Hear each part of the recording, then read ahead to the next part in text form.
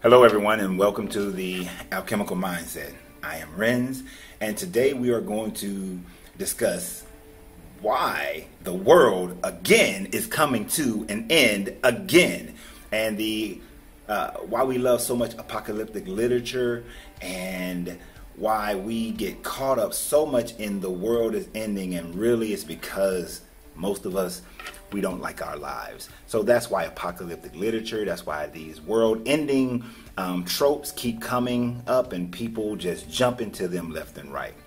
But before I begin, I want to thank everybody who subscribes to the channel. I appreciate you. You are uh, amazing. Thank you very, very much for subscribing to this YouTube channel where we talk about the 360 degrees of life, the alchemical mindset of it, your spirituality, and everything under the sun. Um, I greatly appreciate everyone who supports the channel through Patreon, those who shop at Uncle Renz's Popcorn. I greatly appreciate it. Thank you very much. I am completely in gratitude towards you. Now, the world was supposed to come to an end in the year 2012, mainly because of the ending of a cycle of the Mayan calendar. The ending of the 13 Baktun um, identified the world coming to the end in 2012. Also, you had um, the writings of Merlin, the world's ending in 2012. Uh, Nostradamus, the world's coming to an end in 2012.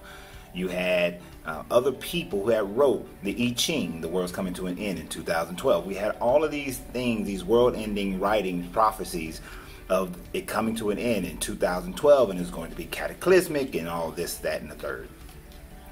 Well, 2012 came, and it went. And there was no upheaval of tectonic plates, and the world didn't go and get engulfed into wars, and um, uh, didn't go into a whole Mad Max Fury Road kind of situation. No, we had our movies, we had our moments, and we continued on. We had a similar thing in 2000 where the world was supposed to come to an end because there was going to be this massive computer issue that was going to create, you know, nuclear weapons going off and all these kinds of things because the computer systems weren't built to go into 2000. So that was supposed to come to an end. But then it was like, oh, we forgot the year zero, so it's actually 2001. And so many things. So now we're dealing with this whole new cataclysmic end time going on, which is saying that because either one, you go by this guy's mathematics that he calculated number of days, leap years based on the Gregorian calendar, this, that, and the third, the world is coming to an end. Or many are looking at, well, the Ethiopian calendar never adjusted to the Roman calendars and this, that, and the third, and it's actually 2012 now. Both are saying it's 2012 now, and the world is coming to an end. Why? Why do we fall for these things? First, let's understand this. None of those things are saying that the world is coming to an end. The Mayan calendar, the ending of the Baktuns, indicated that we were coming to an end of an age, not the end of a world, of the world, of the universe, that we were just moving to a new world, a new manifestation of thought, of mind, a, a, golden era, if you will. That we were changing our mindset, that we was going out of one age of Aquarius or age, or age of Pisces to the age of Aquarius, so that we were just making a shift in the consciousness of the world. Slight interruption, you know, customers and all. So, as I was saying, it's the change of a mindset, uh, but not just an individual, but a cultural, a national, a worldwide mindset, a shift, if you will, in the consciousness of the world, of humankind. And that's what we're experiencing. Unfortunately, many people fall prey to apocalyptic literature, ideas, calculations, because as I've said in previous videos, most people are living in a hell loop. Most people are living in a situation where they really aren't happy with how the world is treating them. But the problem is that they don't realize is that it's not so much how the world is treating them, but how they are relating to the world. You see, after December 21st of 2020, which is they're saying is actually 2012, and the world is supposed to end, but nothing's going to happen as far as physically something's going to happen because they're saying, look at all the things that are happening in 2020. These are the things that were supposed to happen in 2012. The pandemic, the droughts in Kenya, I believe, the forest fires in California. All these things that happen in nature automatically, all these things that's happened in the um, civilization of man consistently because all these things are on a loop. These things continue to happen. History continues to repeat itself.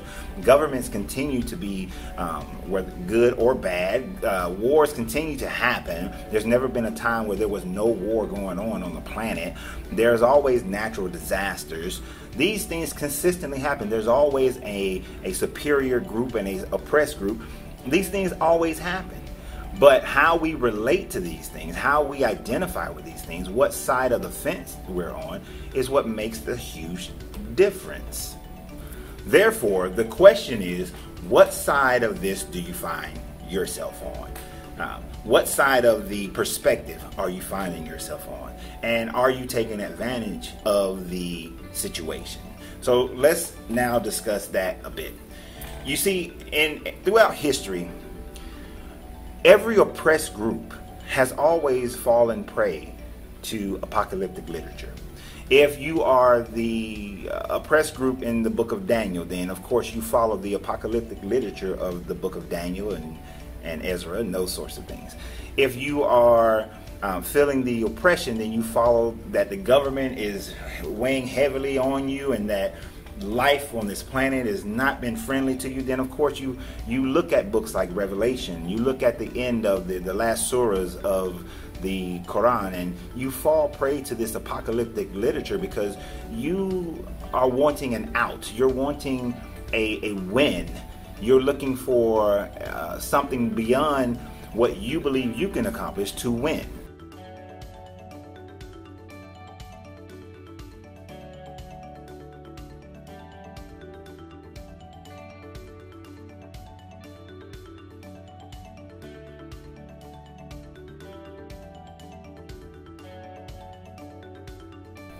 Okay, so you guys saw the interruption.